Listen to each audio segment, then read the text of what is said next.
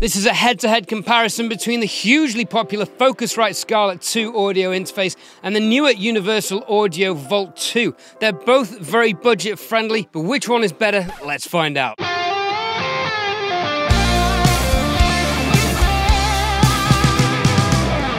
Hi, I'm Ed from edthorne.com here to help you set up and make the most out of your home studios. Now, the reality is these devices are virtually identical, but they have some subtle differences which may sway your decision between the two. There are a few minor differences as well, which I will sprinkle throughout the video.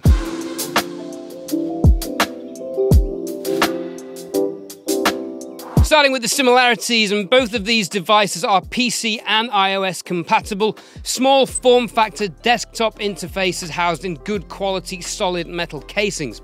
The Scarlett is noticeably smaller with plastic front and back faces instead of the smarter looking metal ones found on the Volt. Both feature equally smooth rotary pots and plastic buttons, illuminating their respective features in their own fashion. And of course, both feature two XLR line in jack instrument cable combination inputs, stereo monitor outputs, a stereo headphone amplifier, 24 bit and 192 kilohertz converters, mono and stereo direct monitoring for zero latency monitoring, and they're both USB C bus powered. Both devices come with an attractive array of additional software, including a DAW, your music production software, plugins, and sample libraries, making these both very good value for money purchases. And of course, both devices come with 48 volts phantom power for your condenser microphones, but the Volt features a nifty 5 second delayed soft start that mutes the outputs while the voltage loads up to avoid any pops in your headphones or speakers. Specification wise, these are virtually identical as you can see on screen now.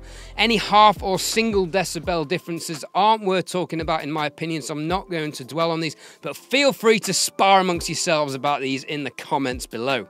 This chart is available to download for free on my website, edthorne.com. And for you folks wanting to monitor with reverb or track through guitar amp plugins, there are some round trip latencies on screen now as well.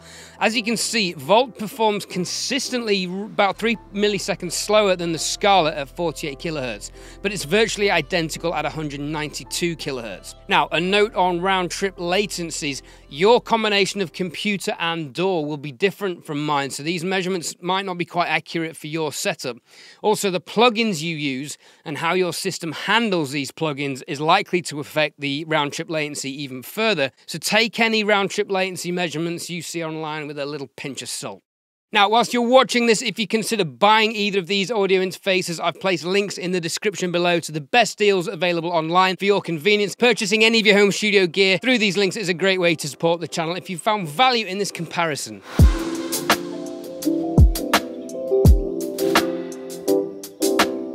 On top of the aforementioned features, both devices feature additional preamp modeling circuitry based on their own brand's classic analog preamps that impose a unique tonality to your audio at the click of a button.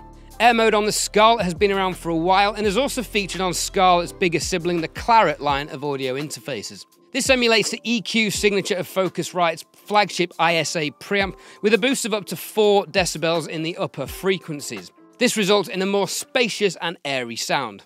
Here's my voice through the Scarlett 2i2 Dry. And here's my voice with air mode imposed. If you're interested to see how the Scarlett and Clarett interfaces compare and sound, check out the link to this video in the description below.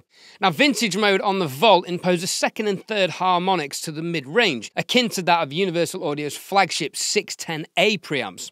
Here's my voice through the Volt 2 Dry. And here's my voice with vintage mode imposed. Just to let you know, these have both been recorded with the Shure SM7B. So air mode is pretty much simply an EQ circuit, whereas the vintage mode is adding rich harmonics to the signal. Both help vocals sit better in a mix, but in my experience, I find vintage mode adds a lovely texture and presence to the vocals without adding the additional potentially problematic sibilance that air mode can introduce. Here are some audio examples of each interface, dry and with air mode and vintage modes imposed, with my friend Lee Limerick kindly playing his Yamaha FG700 MS Dreadnought acoustic guitar, recorded through my rather lovely Austrian Audio OC818 condenser microphones.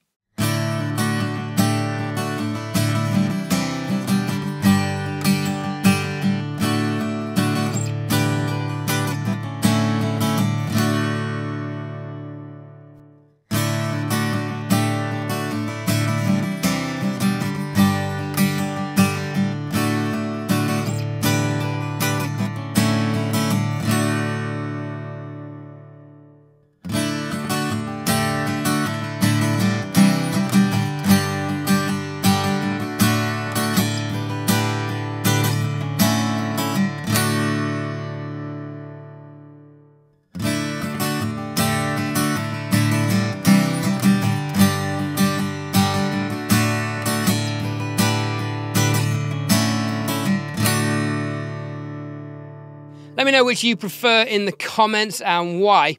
Now, I've got to pause the video here for a second because I was genuinely surprised how good this audio sounded. And it just goes to show that modern preamps in these modern interfaces, combined with good playing, a lovely guitar, a great microphone, good placement, can capture great results. Proof that you don't necessarily need expensive interfaces that YouTubers like myself will tell you to buy, but you can get good results with these interfaces. This setup isn't anything you guys can't use yourself at home. Now, I admit the OC818s are expensive microphones, but they're not U87 expensive, and this is a great example of if you're considering upgrading your interface, maybe reconsider upgrading your microphone instead because that might yield better results. And just for my own enjoyment, I nerded out, pan these microphones left and right, one from each um, interface, added a low pass filter, a tiny bit of compression and reverb, and this is the result.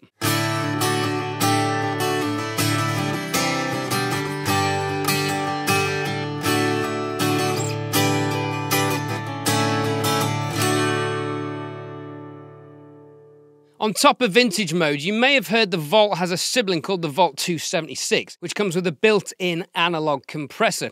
You can find out more about this and hear more audio examples of vintage mode in my full review of this interface here.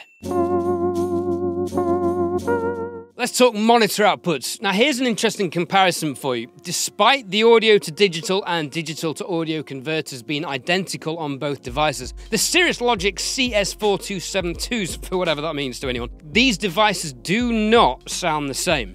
However, Universal Audio have implemented this converter with whatever combination of other components has resulted in the Volt having an extra 2 decibels of dynamic range on the monitor outputs. What does this do? This creates more headroom before digital distortion creeps in, with a fraction quicker, more detailed transient response and seemingly more, more open stereo imaging, resulting in the Volt sounding a little clearer. The difference here is very minimal, but I feel I should comment on it because it does differentiate the two. Now, now, with that said, the Scarlett has considerably more overall output, but my Neumann KH120 speakers were clipping way before either monitor output was anywhere near their maximum. Both devices have acres of headroom in this department. You're unlikely to ever fully utilize all of it, so personally, I'd be choosing Volt based on the quality of the audio reproduction.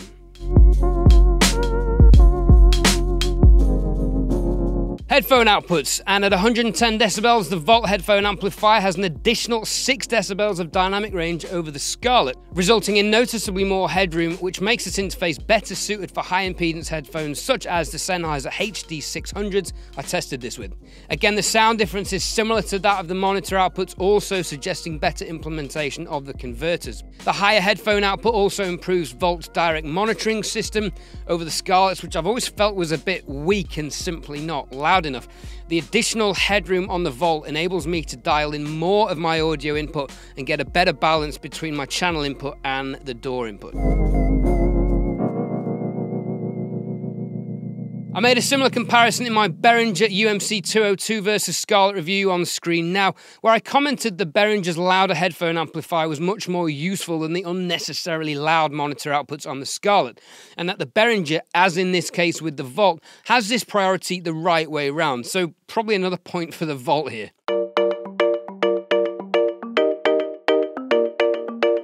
Common question about this level of audio interfaces is can it power a gain hungry microphone such as the Shure SM7B? Before we answer this though, let me know your thoughts about these interfaces so far in the comments below and if you're thinking of buying one, which one and why, I'd love to hear from you guys. So the answer to the Shure SM7B question is Absolutely yes. In my experience, 50 decibels is plenty, and both of these preamps offer enough gain for an SM7B. If you're a soft vocalist and sing from the back of your throat quite airy, you know, you might need a signal booster such as a Cloudlifter. But I'd be tempted just to buy another interface with more input gain rather than buying two products. The SSL2 springs to mind with 62 decibels of input gain. Or alternatively, learn how to project! if, if you want. In terms of software, there's not loads to compare. Both devices come with Ableton Lite, Softube plugins, loops, and sample libraries. A plus for the Scarlett is you get addictive keys, which is probably my favorite piano sampler. Plus for the Volt is a collection of Brainworx plugins and Melodyne, which is the industry standard tuning software.